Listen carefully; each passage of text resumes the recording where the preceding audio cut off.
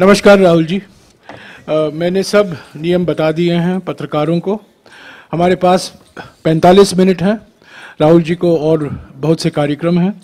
और मैं प्राथमिकता राजस्थान के मीडिया को दूँगा और अंत में चार पाँच सवाल जो दिल्ली से आए हुए हैं उनसे मैं करवाऊँगा। पहले तो आज जैसा कि आप जानते हैं भारत जोड़ो यात्रा ने आज सौ दिन पूरे किए हैं। और आज आठवां प्रेस कॉन्फ्रेंस है राहुल जी का पिछले सौ दिनों में। पहले दैनिक भास्कर से सौरभ भट्ट। मैं दो शब्द बोल दूँ? हाँ आई कैन स्टार्ट पहले राहुल जी कुछ बताइए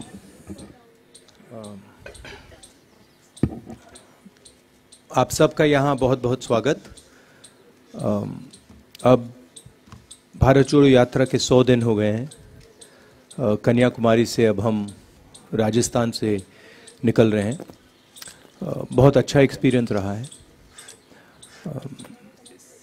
जब शुरू किया तो प्रेस के हमारे मित्रों ने कहा था कि देखो, ये साउथ में सक्सेस रहेगी, मगर जब साउथ से निकलेंगे तो सक्सेस नहीं होगी। फिर महाराष्ट्र में कहा कि हाँ महाराष्ट्र में सक्सेस हो गई, मगर हिंदी बेल्ट में सक्सेस नहीं होगी। और फिर हिंदी बेल्ट में जब हम आए, कहा अच्छा मध्य प्रदेश में सक्सेस हो गई बट अब राजस्थान में फैक्शनलिज्म है, वहाँ पे सक्सेस नहीं होगी. और आपने बहुत क्लियरली देखा कि राजस्थान में बहुत लोग आए, लाखों लोग आए। हमारे संगठन ने बहुत अच्छा इफ़ेक्टिव काम किया। और शायद सबसे अच्छा रिसेप्शन इस यात्रा का राजस्थान में हुआ। यात्रा के लक्ष्य तीन हैं। सबसे ज़रूरी कि हम हिंदुस्तान को जोड़ना चाहते हैं, जो नफरत, हिंसा और डर की राजनीति बीजेपी कर रही है, आरएसएस कर रहे हैं, उसके खिलाफ हम खड़ा होना चाहते हैं। ये मैसेज बहुत अच्छी तरह देश में गया है। बहुत अच्छा रिसेप्शन हुआ है इस मैसेज का। ये लोग सुनना चाहते हैं। ये राजनीति करने का एक दूसरा तरीका है। कांग्रेस का तरीका है, गांधी जी का तरीका है। दूसरे दो मैसेजेस हैं। एक जो बेरोजगारी बढ़ती जा रही है, उसके खिलाफ, और दूसरा, जो महँगाई और जो इनकम इनक्वालिटी हो रही है, जो चुने हुए लोगों को बहुत सारा फ़ायदा मिल रहा है, और हमारे जो किसान हैं, मजदूर हैं, छोटे दुकानदार हैं, युवा हैं, उनका नुकसान हो रहा है। तो ये हमारे तीन मुद्दे थे। अगर आप चाहते हैं, मैं अंग्रेज़ी में बोल लेता हूँ। या हिंदी में ठीक है? अब आपके जो सवाल होंगे आप पूछ सकते हैं। दैनिक भास्कर के सौरभ भट्ट। माइक दीजिएगा जल्दी जल्दी। संक्षिप्त में प्लीज़ नमस्कार सर आ, सर भारत जोड़ो यात्रा राजस्थान में जब से आई है कांग्रेस सड़कों पर एकजुट दिख रही है। आ, कोई बयानबाजी भी नहीं हो रही कोई विवाद भी सामने नहीं आ रहा। लेकिन जब आप राजस्थान यहाँ से छोड़कर जाएँगे तो क्या स्थितियाँ यही रहेगी? इसके लिए कोई मैकेनिज्म दे के जाएँगे या फिर कांग्रेस ऑल इज़ वेल के बयान से ही काम चलाएगी? आ, मेरी राय है आ, कि जो मैंने देखा है और ये आ, सिर्फ़ राजस्थान की बात नहीं है ये बाकी स्टेट्स की भी बात है कि मेन इशू कांग्रेस पार्टी की कि हमारा जो आम कार्यकर्ता है, जो सड़क पे लड़ता है, जो सड़क पे लड़ता है, जो लोअर लेवल का नेता है, उसको हमें पार्टिसिपेट करवाना है, उसको हमें जगह देनी है और उसकी बात हमें सुननी है। ये मेन इशू है। जो ये बयानबाजी की बात होती है, ये तो आप जानते हो प्रेस वाले आप थोड़ा मज़ा मतलब अपने अखबारों में लिखना चाहते हो तो आप करते रहते हो। ये आपकी आदत है अच्छी आदत है इससे आपके अखबार बिकते हैं। मगर हमारा जो स्ट्रक्चर है उसमें बड़ी क्लैरिटी है उसमें कोई कंफ्यूजन नहीं है। राजस्थान पत्रिका से शादाब अहमद। और दूसरी बात दूसरी बात देखिए हमारी पार्टी डिक्टेटरशिप की पार्टी नहीं है। जो फैशिस्ट पार्टी नहीं है। हमारी पार्टी में थोड़े थोड़ी सी डिस्कशन हमें ठीक लगती है कोई प्रॉब्लम नहीं है हमारे लिए। अगर अगर अलग अलग विचार विचार हैं तो कोई प्रॉब्लम नहीं है। और ये ये सिर्फ़ राजस्थान की बात नहीं है हमारे हर स्टेट में ऐसा है सेंटर में भी हमारा ऐसा ही चलता है। तो हम इस चीज़ को टॉलरेट करते हैं। ज़्यादा नुकसान नहीं होना चाहिए। तो अगर ज़्यादा नुकसान होता है तो हम एक्शन भी लेते हैं। मगर जनरली ये कांग्रेस पार्टी की विचारधारा है कि लोग, हमारे पार्टी के लोग अगर कुछ बोलना चाहें, हम उनको डरा कर चुप नहीं करते हैं। हाँ, और प्रेस वाले बोलना चाहे तो हम बिल्कुल नहीं डराते हैं वो तो आप जानते हैं। शादाब अहमद। राहुल जी सबसे पहले तो सौ दिन पूरे करने पर आपको बधाई और मेरा सवाल इसी से जुड़ा हुआ है आप कन्याकुमारी से चले और राजस्थान तक आए इसमें छह स्टेट ऐसे हैं जिसमें कांग्रेस अपोजिशन में है और राजस्थान ऐसा अकेला स्टेट है जहाँ पर कांग्रेस रूलिंग स्टेट है। तो इसमें आपको क्या अंतर देखने को मिला? आप लोगों से मिले हैं वहाँ पर भी खूब लोगों से बातचीत हुई है यहाँ पर भी आपके लोगों से बातचीत हुई है। जो स्कीम्स हैं उसको लेकर और जो वहाँ पर जो अपोजिशन में जो भी चीज़ें थी, उसमें क्या फ़र्क आपको महसूस हुआ है? सबसे पहले मुझे ज़मीन से एक बात समझ आई, और ये तमिलनाडु से लेकर राजस्थान तक, कि कांग्रेस पार्टी का जो कार्यकर्ता है, कांग्रेस पार्टी का जो सपोर्टर है, उसके कोई कमी नहीं है। लाखों करोड़ों लोग हैं। और सिर्फ़ हमारी पार्टी के लोग नहीं मतलब आम नागरिक भी, बहुत मतलब कांग्रेस पार्टी से बहुत प्यार करते हैं। तो ये तो देखने को मिला हर स्टेट में। जो आपने कहा, जब हमने यात्रा शुरू की, मैंने भी सोचा था कि एक्चुअली जो केरला में हमारा संगठन है, वो शायद बहुत मज़बूत है। मगर उसके बाद मैंने सोचा कि केरला बेस्ट होगा। केरला के बाद कर्नाटका उससे बेहतर चला गया और इंप्रूव करता गया इंप्रूव करता गया। मतलब मध्य प्रदेश में जो हमें रिस्पांस मिला, महाराष्ट्र में जो रिस्पांस मिला, आप लोग दिखा नहीं रहे हो, वो तो आपके मतलब आपको करना पड़ रहा है, नहीं दिखा पा रहे हो, वो अलग बात है बट भयंकर रिस्पांस है। इमोशनल रिस्पांस है, प्यार भरा रिस्पांस है, सब जगह। यहाँ पे दो तीन योजनाओं के बारे में लोग मुझे कहते हैं और आम नागरिक कह रहे हैं।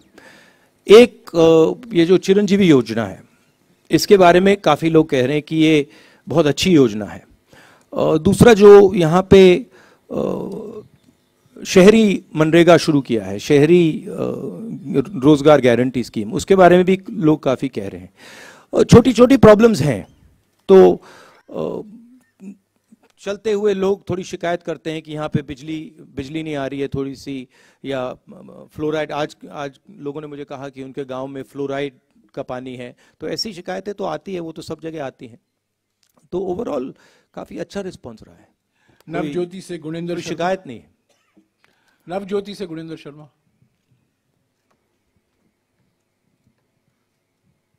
हेलो। राहुल जी ये आपके आ, क्या है कि चार साल सरकार के पूरे हो रहे हैं और सभी मंत्री सरकार रिपीट होने का दावा कर रहे हैं। अभी जो हाल में घटनाक्रम हुआ उसके बाद आपको क्या लगता है कि अब अगले एक साल में सरकार रिपीट के लिए क्या किया जाएगा?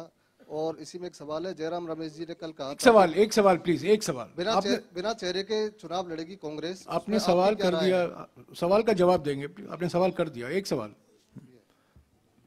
तो देखिए चुनाव का प्रडिक्शन आप लोग करते हो, आप लोग जानते हो, मगर मैं आपसे ये कह सकता हूँ कि यहाँ पे ओवरवेलमिंग रिस्पॉन्स रहा है और हमारे जो कार्यकर्ता हैं, उनकी मतलब अनबिलीवेबल स्ट्रेंथ है। जो मैंने पहले कहा, अगर हमने जो हमारे कार्यकर्ता हैं, जो हमारे लोअर लेवल के लीडर्स हैं, उनको अच्छी तरह उनका अच्छी तरह प्रयोग किया तो हम चुनाव बहुत आसानी से जीत जाएँगे। जो जो लोग हमारे लिए काम करते हैं जो लोग हमारे लिए लड़ते हैं अगर उनको हमने सही जगह दे दी तो यहाँ पे भयंकर जीत होगी स्वीप होगा। तो वही वही मेन इशू है। राष्ट्रदूत से योगेश शर्मा। राहुल जी आप कह रहे हैं रेस्पॉन्स अच्छा मिल रहा है। निश्चित तौर पर सड़क पर बहुत सारे लोग आपको देखने सुनने आ रहे हैं। लेकिन पार्टी के अंदर बहुत सारी अनिर्णय की स्थिति होती है। 80 दिन पहले आला कमान के निर्णय के खिलाफ जाकर समानांतर विधायक दल की बैठक होती है। उसमें प्रभारी के खिलाफ बयान दिए जाते हैं। आप तीन नेताओं को नोटिस देते हैं। अस्सी दिन बाद उस पर निर्णय नहीं होता। उसी दिन विधायक इस्तीफा देने गए थे। उन इस्तीफों पर कोई निर्णय नहीं होता और सवाल सवाल कीजिए सवाल कीजिए प्लीज़ सवाल कीजिए। ये अनिर्णय की स्थिति कब तक रहेगी? कोई निर्णय की स्थिति नहीं है। बड़ा क्लियर है। ये आपको मतलब ये थोड़ा थोड़ा होता रहता है पार्टी में हमारी पार्टी में होता है। कोई बड़ी प्रॉब्लम नहीं है कोई कंफ्यूजन नहीं है। दैनिक भास्कर डिजिटल से- से गोवर्धन। अगर आप अगर आप कंट्रोवर्सी चाहते हैं मुझसे पूछिए मैं कंट्रोवर्सी करा सकता हूँ आपके लिए थोड़े आपके बिकेंगे अखबार नो प्रॉब्लम गोवर्धन जी राजस्थान में अ, इसी से एडजॉइनिंग सवाल है राजस्थान में अगला चुनाव किसकी लीडरशिप में करेंगे या बिना चेहरे के जाएँगे ये क्लियर कर दीजिए क्योंकि बहुत सारे लोग भैया मैं मैं मैं कांग्रेस पार्टी का प्रेसिडेंट नहीं हूँ। कांग्रेस पार्टी के प्रेसिडेंट खारगे जी हैं। आप ये सवाल उनसे पूछिए। आपने सवाल पूछा मैंने सवाल का आपने सवाल का जवाब मिल गया। फिर से दोहरा देता हूँ। खारगे जी से पूछिए। टाइम्स ऑफ़ इंडिया जयपुर से जॉय चंद। सर अ, सर मेरा क्वेश्चन है ये कांग्रेस में क्या है का, अ, कुछ नेता लोग बोलता है ये कोई नेता चला गया तो कोई फ़र्क नहीं पड़ता। a lot of attrition in the Congress. So how, what you are planning to stem this uh, tide of people leaving Congress and joining other parties on BJP poaching them? Where is the tide? I, last I heard, Congress uh, won the election in Himachal Pradesh. You're not congratulating us for that. No, no, we are. How come you haven't said? Uh, how come you haven't said congratulations, Congress party winning Himachal Pradesh? That you're not saying. That is only a drop in the ocean, actually. No, no it's not. See, please don't underestimate what the Congress Party is. See what has happened, and with all due respect, you have been responsible for it. Is that There Hindi में? Hindi? English or Hindi? You asked the question. What do you prefer? English. So there has been a systematic defamation campaign. Okay, uh, run against myself for sure, and run against the Congress party. And the press has participated willfully in this campaign. I don't blame you, but the idea that Congress party is withering away, Congress party is ineffective, Congress party, this is all, this has all been preached by the BJP opposition and uh, by the BJP and you have played a part in, in putting this across. Let me be very clear. The Congress party is a ideological party. It is the party that is ideologically opposed to the BJP. It is the party that is fighting the BJP on the ground. It does not compromise with the BJP. It has its principles. And of course, if certain people want to leave the Congress party, they don't have the courage to face the BJP. They are they have been corrupt and they the BJP can apply pressure on them. They are welcome to leave. We don't want them. The more the merrier, right? What we need is people who are fighting the BJP, who believe in the Congress ideology, and who are standing firm against the fascism that is taking place in this country. That's what, that would, that's what we need. So this idea that Congress party is dying, this Congress party, you know, uh, is, is finished. I mean, a lot of people have this fantasy, right? It's not true. It won't come true. Mark my words. The BJP is going to be taken down by the Congress party. Okay? Thank you. जी राजस्थान से शशि मोहन। हिंदी- में बोल दो? जी राजस्थान से शशि मोहन। बोल दे।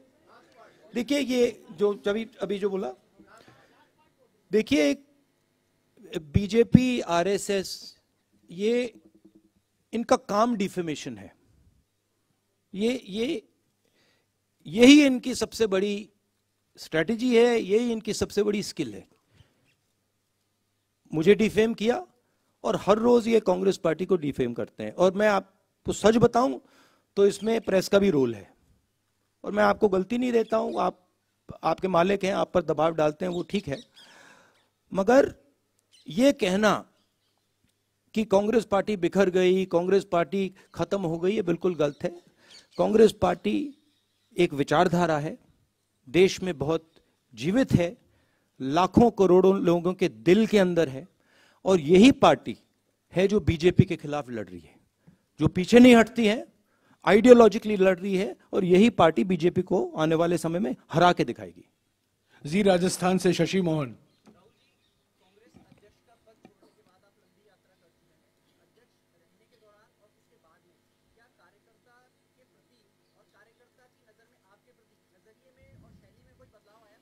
ये तो भैया आपको उनसे पूछना पड़ेगा।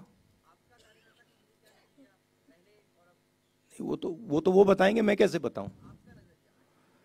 मेरा पर्सनल नज़रिया नहीं लाइफ का एक्सपीरियंस होता है वो भी एक्सपीरियंस था ये भी एक्सपीरियंस है। तो एक एक सफ़र है उससे भी सीखने को मिला इससे भी सीखने को मिला। मगर अम, यात्रा से मुझे पर्सनली तो काफ़ी फ़ायदा हुआ है। अ, यात्रा भी खत्म नहीं हुई है मगर बहुत सीखने को मिला है। जो जो सड़क पे दिखता है और चलने से जो दिखता है वो बिल्कुल अलग होता है। मतलब थोड़ी थकान होती है थोड़ा दर्द होता है तो तब सुनने में सच्चाई अच्छी सुनाई देती है। फ़र्स्ट इंडिया से योगेश शर्मा क्योंकि जब जब सड़क पे चला जाता है तो जैसे आप लाखों लोगों, हम लाखों लोगों से मिल रहे हैं। और वन टू वन बात होती है। और जब हम सड़क पे चलकर बात करते हैं तो जैसे हम किसान से मिलते हैं तो वो इस बात को समझ लेता है, एकदम समझ लेता है, कि ये जो व्यक्ति आया है, ये दर्द सह के आया है। ये फालतू में नहीं आया है। ये चल के आया है एक प्रकार से बोझ उठा के आया है। तो वो दूसरे तरीके से बोलता है और वो दिल से बोलता है। वो दिमाग से नहीं बोलता है। तो जब हिंदुस्तान की जनता दिल से बोलती है तो बिल्कुल अलग चीज़ समझ आती है। एक बात यह है दूसरी बात है कि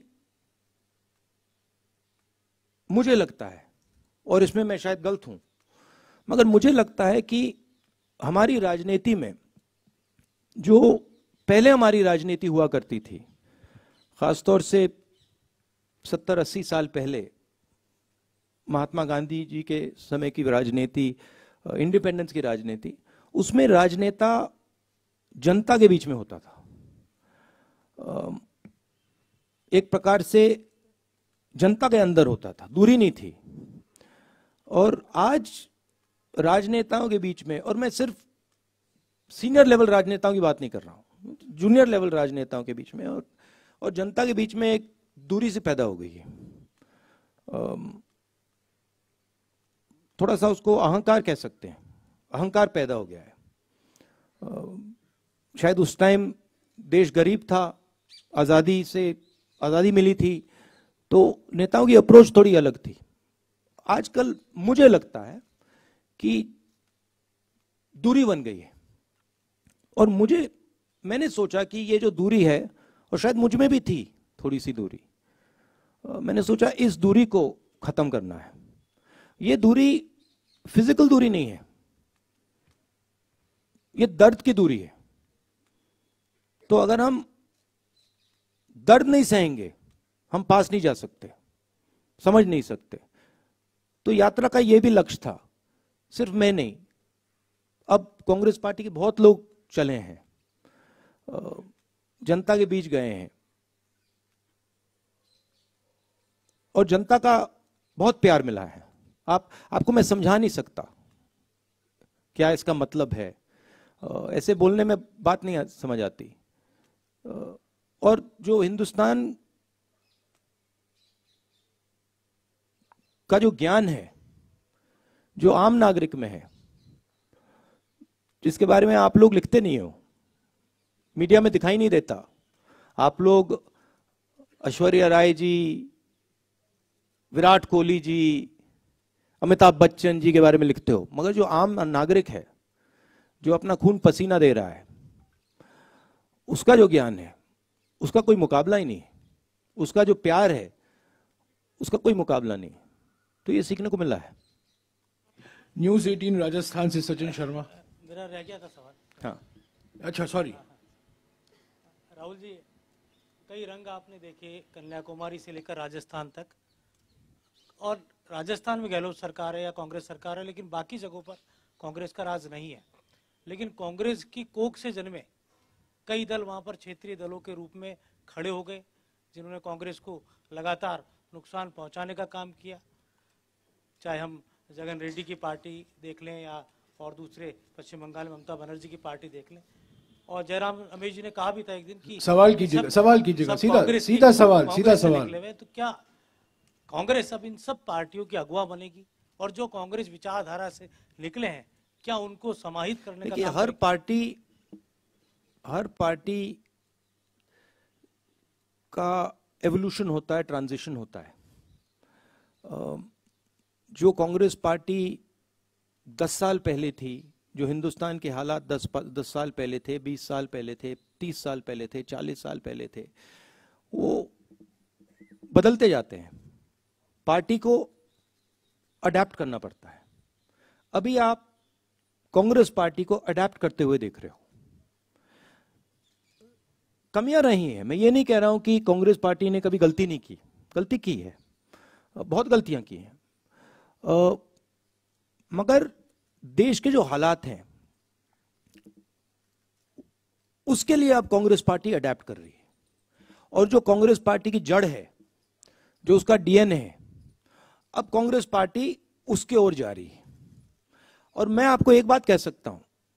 जिस दिन कांग्रेस पार्टी ने अपनी जड़ पकड़ ली। जिस दिन जो कांग्रेस है वो कांग्रेस संगठन बन गया उस दिन यहाँ पे कोई नहीं हरा सकता कांग्रेस को। तो ये ये कम्युनिकेशन है जनता के साथ एक कम्युनिकेशन है। जनता को समझने का की, का प्रयास है और अपने आप को बदलने का प्रयास है। ठीक है तो ये आप ट्रांजिशन देख रहे हैं। इसमें थोड़ा टाइम लगेगा। मगर ये विचारधारा जो है, कांग्रेस पार्टी की, ये 10-15 साल पुरानी नहीं है। ये 100 साल पुरानी भी नहीं है। ये जो लड़ाई चल रही है, ये हज़ारों साल पुरानी लड़ाई है। हज़ारों साल पुरानी। तो ये विचारधारा की लड़ाई पहले थी, आज है, कल भी रहेगी। कांग्रेस पार्टी को प्रिसाइसली ये समझना है कि कांग्रेस पार्टी है क्या। और वो एक एक सफ़र है। और हमारे लिए जो हो रहा है मैं आपको बताऊँ ये जो बीजेपी आई है जो आरएसएस आई है सारे इंस्टीट्यूशंस को कैप्चर कर लिए कर लिए हैं कर लिया है इन्होंने। ये कांग्रेस पार्टी के ट्रांजिशन के, के बदलाव के लिए ट्रांजिशन के लिए नई एक जो कांग्रेस पार्टी का रूप है उसके लिए बहुत अच्छा है। खराब नहीं है।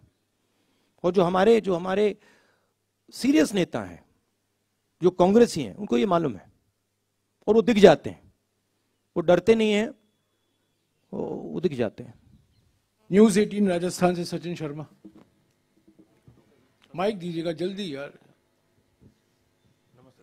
माइक सर, ऊपर। मेरा सवाल ये है आपसे कि ओपीएस राजस्थान ने लागू किया हिमाचल में भी ओपीएस की वजह से ही संभवतः आप लोग सत्ता में आए। कल आप रघु राजन सर से मिले हैं उनसे आपकी बातचीत ये ये आपने बहुत बड़ी स्टेटमेंट की कि बहुत बड़ा हिमाचल में आप ओपीएस के कारण आए। ये ये मतलब साइंटिफिक एनालिसिस किसी ने नहीं किया है? उसका एक बड़ा रोल रहा होगा। गहलोत साहब भी कई बार गए उन्होंने ओपीएस की बात कही। हम्म। लेकिन कई अर्थशास्त्री उसके विरोध में उसके खिलाफ हैं। कल आपकी रघुराम राजन साहब से लंबी बात हुई। क्या उनसे इस बारे में आपकी कोई बातचीत हुई? उनकी क्या राय है और आप इस बारे में नहीं उनसे इस इसके बारे में राय नहीं हुई। आप क्या सोचते हैं सर? प्यार से भैया। नहीं, उनसे बात नहीं हुई।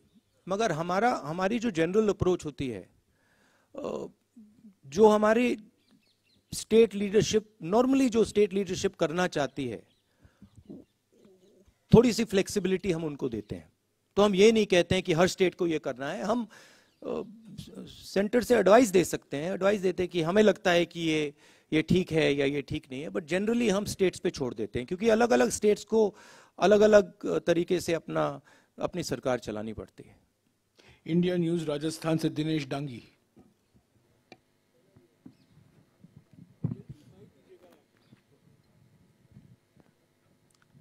राहुल जी नमस्ते। राहुल जी आप नमस्कार। लगातार कह रहे हैं कि ये मेरी यात्रा सियासी नहीं है। नया आप वोट मांग रहे sorry, क्या? आपकी यात्रा सियासी नहीं है मकसद तीन आपने बता रखे हैं। नहीं ये मेरी यात्रा नहीं है भैया। कांग्रेस की। हाँ। जन जन की हो जाएगी। जो भी मगर मेरी नहीं है। बेस्ट ऑफ़ लक लेकिन आप दिल से बोलते हैं दिल का ही सवाल करते हैं। तो पब्लिक पूछ रही है ये आदमी क्यों घूम रहा है? इसको वोट नहीं चाहिए राजनीति ये नहीं कर रहा। क्या फ़ायदा मिलेगा? अल्टीमेटम जो मुद्दे आप उठा रहे हैं आठ साल से 2014 से न मीडिया न मोदी सरकार सीरियस ले रही है। पब्लिक रिज़ल्ट दे चुकी है लोकसभा राज्यसभा में। तो वो कह रही है, ये क्यों घूम रहा है? ये व्यक्ति इसलिए घूम रहा है क्योंकि इस देश में बीजेपी ने डर और नफरत फैला दिया है। और ये व्यक्ति इसलिए घूम रहा है क्योंकि वो डर और नफरत को मिटाना चाहता है। और ये व्यक्ति, ये पहला व्यक्ति नहीं है जो ऐसे घूम रहा है। ऐसे बहुत सारे व्यक्ति घूमे हैं। और ये हिंदुस्तान का इतिहास है। ये जो नफरत और डर से लड़ने का ये हिस्ट्री है हमारी, ये इतिहास है, और मैं पहला नहीं हूँ और अंतिम नहीं होऊँगा। और ये मेरी यात्रा नहीं है, ये हिंदुस्तान के लोगों की यात्रा है, ये कांग्रेस पार्टी की विचारधारा की यात्रा है, और ये हिंदुस्तान को जोड़ने की यात्रा है। राजस्थान मीडिया से आखिरी सवाल है पत्रिका टीवी से राहुल सिंह।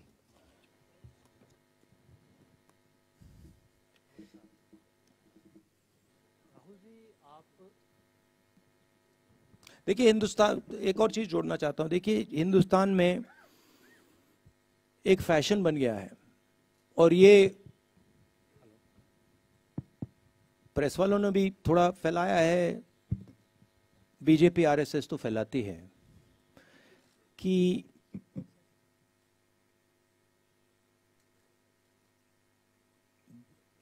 देश के लोग एक दूसरे से नफरत करते हैं। मगर जो मुझे दिखा, और मैं अब तकरीबन ढाई हज़ार, कितने चले हैं जयराम जी? अट्ठाईस सौ किलोमीटर चला हूँ तो थोड़ा तो मैंने देखा होगा। मुझे दिखा है कि इस देश में करोड़ों लोगों के दिल में एक दूसरे के लिए प्यार है। मोहब्बत करते हैं एक दूसरे से, भाईचारा है, और एक दूसरे के लिए लड़ जाएँगे, मर जाएँगे। और मुझे मुझे बहुत खुशी हुई, क्योंकि मैंने भी सोचा था कि भाई, देश को खो क्या गया है। ऐसे देश में इतनी नफरत कैसे हो सकती है? और सच बताऊँ तो मुझे बहुत अच्छी चीज़ देखने को मिली कि नफरत ऊपर से फैलाई जा रही है। उसमें आप लोग भी काम कर रहे हो। करना पड़ रहा है। मगर नीचे से आप देखें, प्यार है, भाईचारा है, इज़्ज़त है, रिस्पेक्ट है। और यही इस देश की संस्कृति है, यही इस देश की हिस्ट्री है। इसको बदला नहीं जा सकता है। राहुल जी, आपने ढाई तीन हज़ार किलोमीटर की यात्रा की और लगातार चल रहे हैं। इस पूरी यात्रा में राजनीतिक रूप से, सामाजिक रूप से क्या आपने बदलाव, क्या दो दो तीन अहम चीज़ें महसूस की जो आने वाले समय में चुनौती बन सकती है, कांग्रेस पार्टी उसका मुकाबला भी कर सकती है? इस तरह की क्या दो चीज़ें, दो तीन चीज़ें अहम रूप से महसूस किया आपने?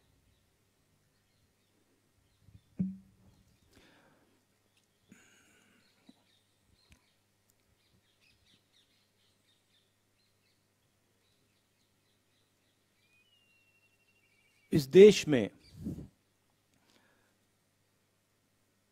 आर्थिक अन्याय हो रहा है।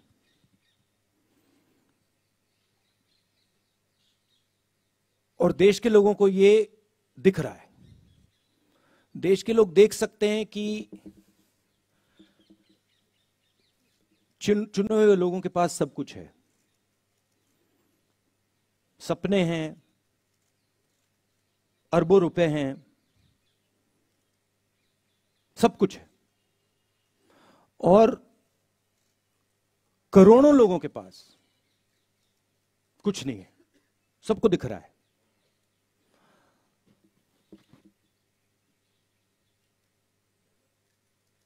करोड़ों लोग हर रोज उठते हैं, कोई ना कोई सपना देखते हैं और फिर उनका सपना टूट जाता है। युवा कोई इंजीनियर बनता, बनने की कोशिश करता है, कोई डॉक्टर बनने की कोशिश करता है, दिल में उनको सच्चाई मालूम है कि कुछ मिलेगा नहीं। जानते हैं। जैसे बहुत सारे युवा मुझसे कहते हैं, मैं पूछता हूँ, क्या कर रहे हो? आईएएस में जाना चाहते हैं।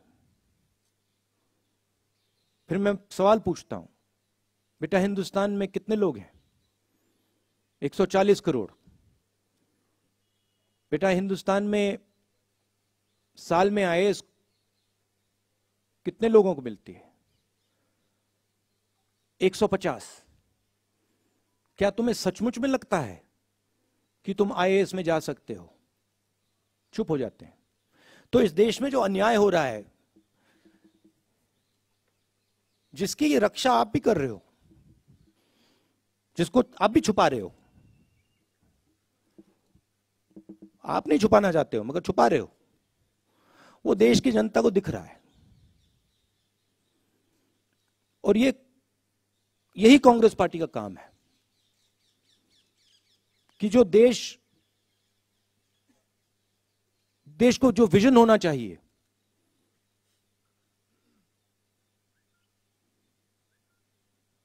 आगे का, पीछे का नहीं।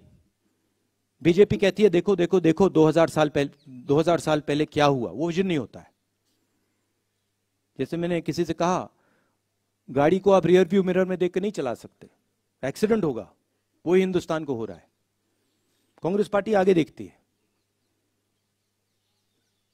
भूलते नहीं हिस्ट्री को भूलते नहीं है। मगर हम आगे देखते हैं। हम देश को विजन देने की कोशिश करते हैं। हम देश की आवाज़ सुनते हैं तो हमारे लिए बहुत बड़ी अपॉर्चुनिटी है। और यह काम सिर्फ़ कांग्रेस पार्टी कर सकती है, और कोई बीजेपी नहीं कर सकती। तो हमारे लिए बहुत बड़ी अपॉर्चुनिटी है। दुख होता है। ये देखकर दुख होता है कि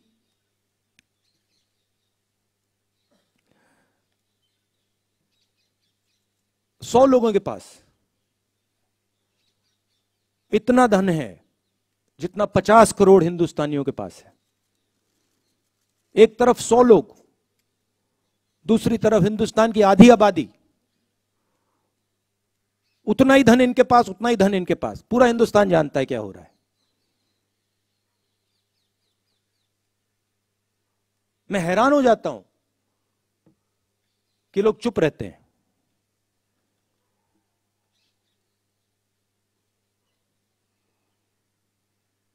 दिल बड़ा है उनका मगर ऐसे देश नहीं चलाया जा सकता तो ये समझने को मिला मुझे राहुल जी हमारे पास पाँच सात मिनट बाकी हैं तीन सवाल जल्दी लूँगा मैं दिल्ली स्थित मीडिया से असीम कमाल पीटीआई से Sir, uh, 20, uh, 24 is not very far. Uh, there are a lot of regional parties that have been talking about bringing the opposition together. When will the Congress take the lead in bringing the opposition together? And in that context, how will you reconcile your differences with parties like TMC and AAP? Brother, you have to ask this to the Congress president. Uh, I have a view that uh, the Congress party must work with all the opposition parties. Uh, there's a lot of space to do that. But the exact strategy, how it's going to be done, uh, that you have to ask the new Congress president. I'm actually not involved in that right now. Niyamika Singh, Times now. Is she here? Yeah, Niyamika. Please take the mic and ask the question. Take the mic and ask the question.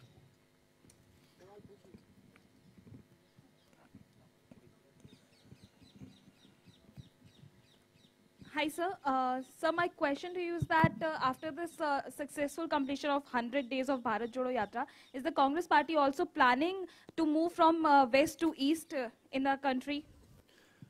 अब देखते हैं let us see. But you know, before I came to this press conference, I was having lunch with uh, my friend here.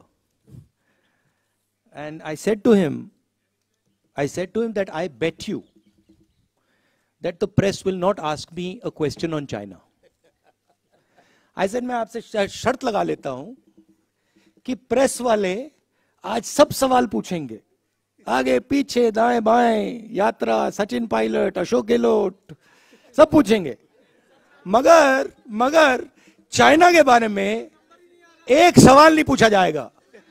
जिन्होंने 2000 square kilometre Hindustan का उठा लिया जिन्होंने हिंद, हिंदुस्तान के 20 जवानों को शहीद किया जो हमारे जवानों को अरुणाचल प्रदेश में पीट रहे हैं मैंने कहा हिंदुस्तान की प्रेस मुझसे इनके बारे में एक सवाल नहीं पूछेगी। सच था सच था। Vijay Lakshmi from India news Vijay Lakshmi mike दीजिएगा विजय लक्ष्मी जी को। ब्रदर देश देख रहा है। ये मत सोचिए कि नहीं देख रहा है। राहुल जी विजय लक्ष्मी इधर राहुल जी हम च, मैं चाइना पर ही पूछना चाह रही अब थी। बाबा पूछ रहे हैं चाइना पर। नहीं नहीं राहुल जी हाँ, मैं पूछना- पूछ रही है। नहीं नहीं मैं चाइना पर ही अब याद आया चाइना। अपनी, अपनी बारी का इंतज़ार करी थी मैं हाँ। क्योंकि एक ऑर्डर है प्रेस कॉन्फ्रेंस का हाँ, हाँ। क्योंकि पार्लियामेंट में आप से मुलाकात नहीं हो पाती है भारत जोड़ो यात्रा में आप हैं आपकी पार्टी उठा रही है ये मसला हाउस में लेकिन सरकार की तरफ़ से कहा जाता है एक इंच भी कोई हमारी ज़मीन का नहीं ले सकता है लेकिन उसके बावजूद इस तरह की घटनाएँ हो रही हैं आपको लगता है अप्रोच में कुछ चेंज करने की ज़रूरत है मुझे तो मुझे जो दिख रहा है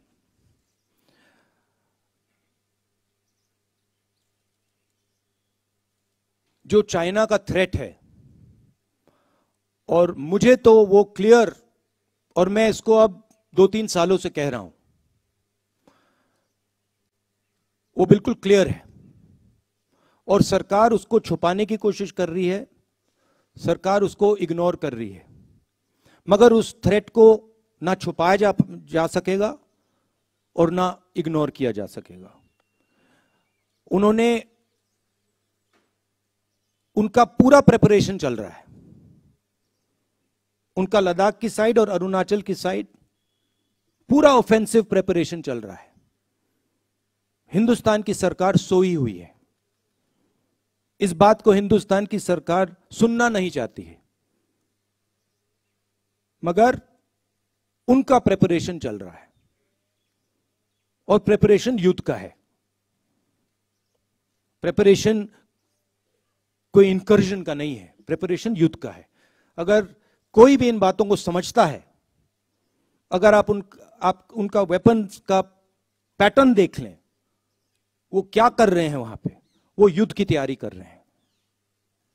और हमारी सरकार इस बात को छुपाती है और इस बात को शायद एक्सेप्ट नहीं कर पा रही है। हो क्यों रहा है? क्योंकि हिंदुस्तान की सरकार इवेंट बेस्ड काम करती है।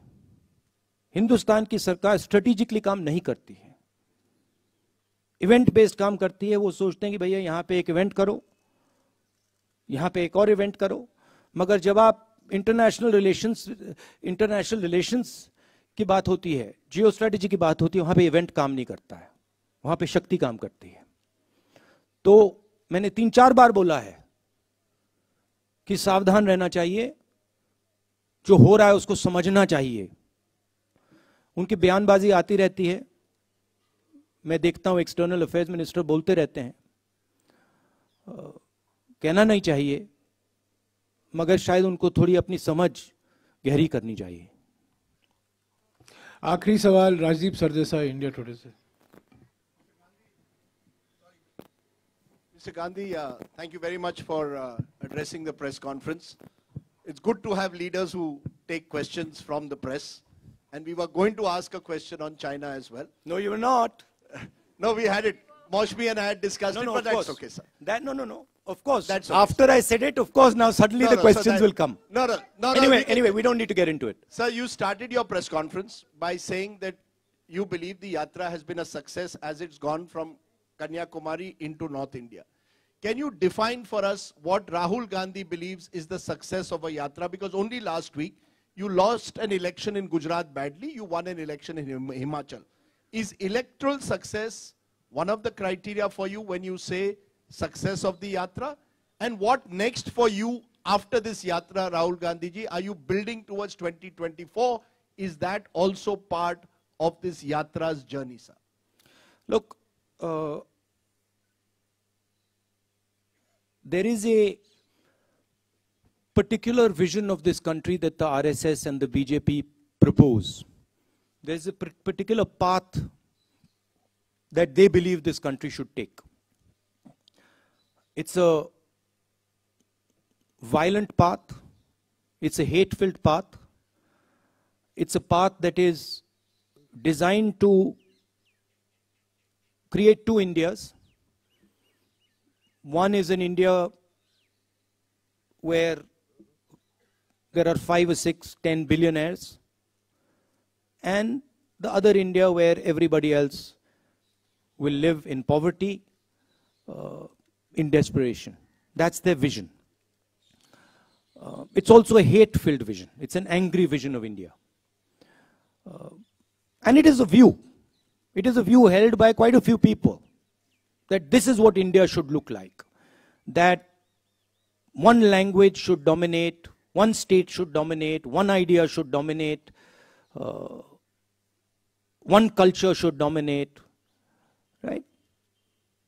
One religion should dominate. And there's another view. And that view is that this country should talk to each, itself. It should have a conversation with itself. It should be affectionate to itself. It should understand the pain that this country is going through. It should not be arrogant, it should be humble. It should reach out to other people. It should embrace other people. This is another vision. This is what the Bharat Jodo Yatra has been very successful at showing that there is another alternative. Nobody in the yatra is beating each other up. Nobody is abusing each other. Someone falls down, everybody lifts them up. Nobody asks, uh, What caste are you? Which state you come from? How dare you come here? Nobody's asking these questions, right? And that the yatra has been full of love and affection. Anybody comes, they're treated with respect. Doesn't matter who they are. A lot of people come to me when I'm talking to them, I don't agree with them. They'll say something to me, I tell them I don't agree with you. But there is the space for the disagreement. So, where the yatra has been extremely successful is that it has shown that there is another way of doing things. It has shown that you can actually respect people, you can actually embrace people, you don't have to be nasty and cruel. Okay, so there it has been a tremendous success. What next for me? I have said that the yatra ends in Srinagar. I think it will end by the end of January. And I've said that, look, it is my endeavor to focus on this yatra until the flag is hoisted in Srinagar. This is a, it's a public journey. It's a journey of many, many yatris, millions of people. But for me also, it's a private experience, it's it's getting to understand a lot about um, the people that I love, about myself. And so it has been a big experience for me. It's been a very good learning experience for me personally. And you can ask that question to most of the yatris, they will tell you the same thing.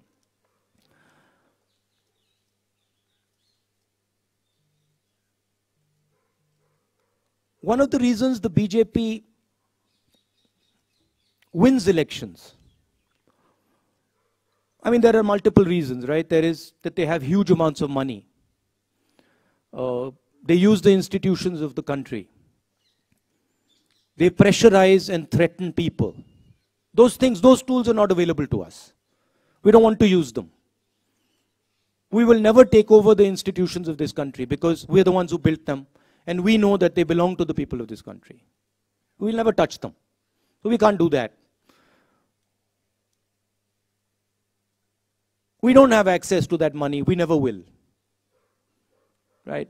Because we don't we don't offer the conveniences that the BJP offers.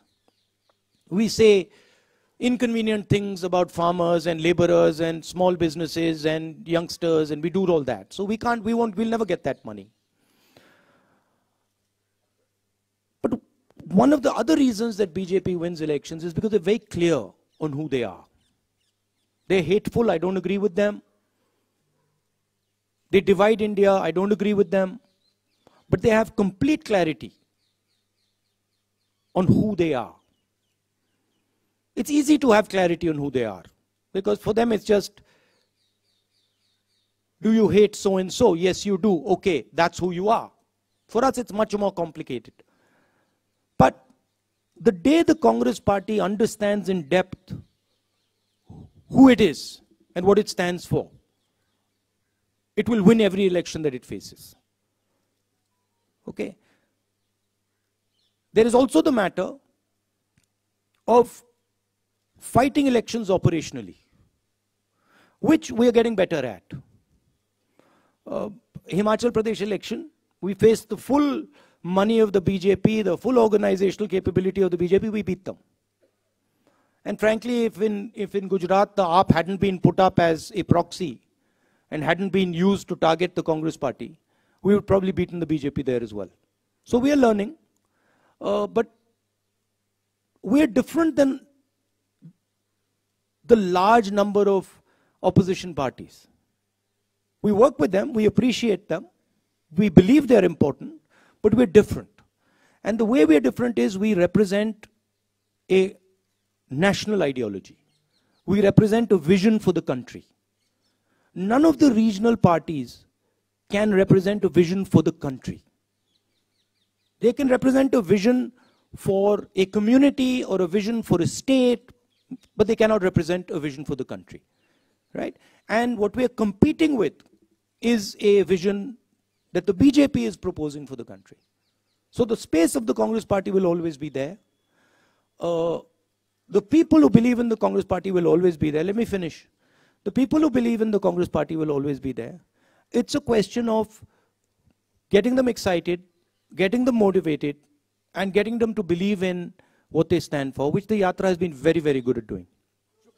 No, Rajdeep, no, Rajdeep, no supplementary, please. So no supplementary. Rajdeep, no supplementary, please. Okay, you're not Raj thinking of 2024. Shukriya, Rahul ji. Shukriya, Rahul ji. Rahul ji, Shukriya. Okay, okay, okay. Aane so you're not thinking of 2024 or No supplementary, please. Okay. Please respect the rules okay. that have been set. No, let me. I have informed Jaram, you Jaram, the rules. Jaram, one sec. See, the point is, see, I understand. Look, no like- supplementary आप बार बार पूछते हैं I'll just answer आप that. बार बार पूछते हैं आप चुप रहिए I'll answer the. चुप रहिए आप आपको पहले मिला था तेलंगाना में आप हरियाणा में आइए आप हरियाणा में ब्रदर। अगले प्रेस कॉन्फ्रेंस में आप हरियाणा में आइए। नहीं नहीं मैं आपको करवा दूँगा पहला आपको देंगे अरे आप बार बार पूछते हैं राहुल जी यार धमकी देते रहते हैं आप okay okay friends friends everybody, friends.